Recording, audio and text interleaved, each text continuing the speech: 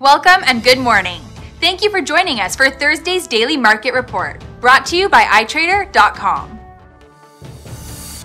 A push by activist hedge fund TCI to oust the chairman of the London Stock Exchange was heavily defeated on Tuesday.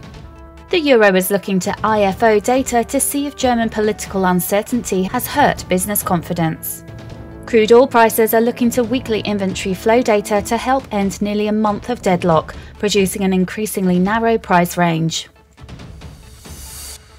The Aussie dollar pair appears to have no definitive bias right now. Stochastic lacks continuity in recent sessions, now dwelling in the bearish area.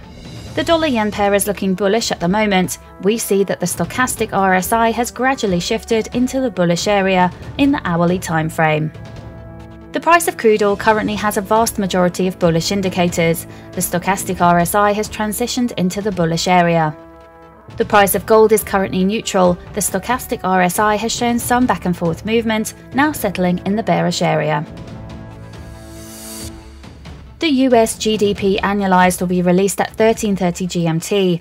The Eurozone's consumer confidence at 1500 GMT. The BOJ's monetary policy statement at 0200 GMT the Canadian CPI at 1330 GMT, the US core personnel consumption expenditures at 1330 GMT, and the UK GFK consumer confidence at 0001 GMT.